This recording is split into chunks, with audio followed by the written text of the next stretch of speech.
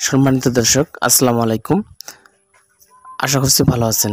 আজকে আপনাদেরকে নিয়ে আসছি এক নতুন খামারি বাড়িতে উনি কোনভাবে বিনা পয়সা গরু পালন করতেছেন, কীভাবে টাকা ছাড়া গরু পালন করতেছেন, সেই তথ্যগুলো জানাব এবং সেই বাস্তব চিত্রগুলো তুলে দেবো সাথেই থাকবেন। নতুন খামারি যখন খামার স্টার্ট করেন, তখন খরচ কোনভাবে কমিয়ে আনবে, সেটা নিয়ে কিন্তু ওনার জল্পনা কল্পনা কোনো শেষ নাই।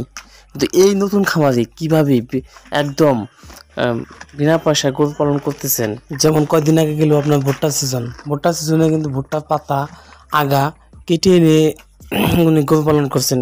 এবং সেটা সেটা আনতে কিন্তু কোনো টাকা লাগে নাই।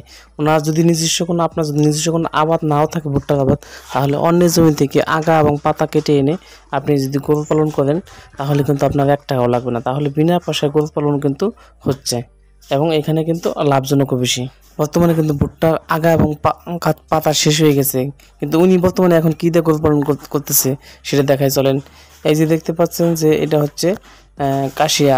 কাশিয়া কেটে এনে উনি গরু পালন করতেছেন। একদম এটা কিন্তু কাশিয়াটা কিন্তু বিনা পয়সায় কিনে আনতে হইতেছে না।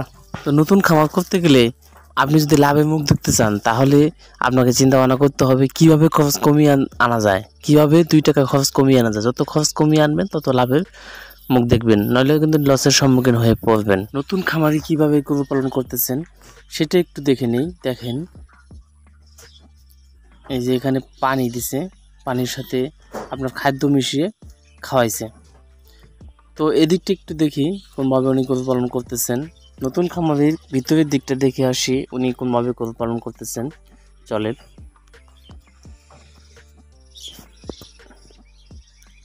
হ্যাঁ নতুন খামারি, একটু ভিতরে যাওয়া যাক।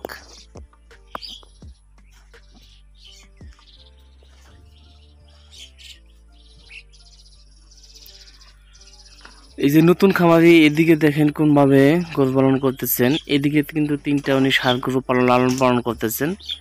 এই যে, নিচ দিয়ে কিন্তু আপনার সিমেন্ট দিয়ে পাকা করে দেওয়া হয়েছে। সার গরু তিনটাকে উনি আলাদা করে রাখছেন মোটা তাজা করানোর জন্য। উপর দিকটা উপর দিকটা আপনাদেরকে যদি আমি দেখাই, দেখেন এই যে, একদম বাঁশ চাটাই করে দেওয়া হয়েছে। এবং এই দিকে উনি আবার উনি দুইটা বকনা বছর পালন পালন- লালন পালন করতেছেন। তিনটা গরু আলাদা, আলাদাভাবে পালন করতেছেন। এবং দুইটা বকনা বাছুর আলাদাভাবে পালন করতেছেন। এটা হচ্ছে নিয়ম। ষাট গরু এবং বকনা বাছুর একসাথে কোনো সময় পালন করা যাবে না।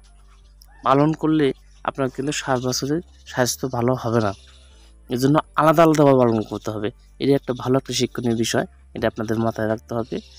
তো আজকের ভিডিওটি যদি তথ্যবহুল হয়ে থাকে, যদি আপনার কাজে লেগে থাকে, চ্যানেলটি সাবস্ক্রাইব করে যাবেন, লাইক, কমেন্ট, শেয়ার করবেন। ধন্যবাদ। ভালো থাকবেন।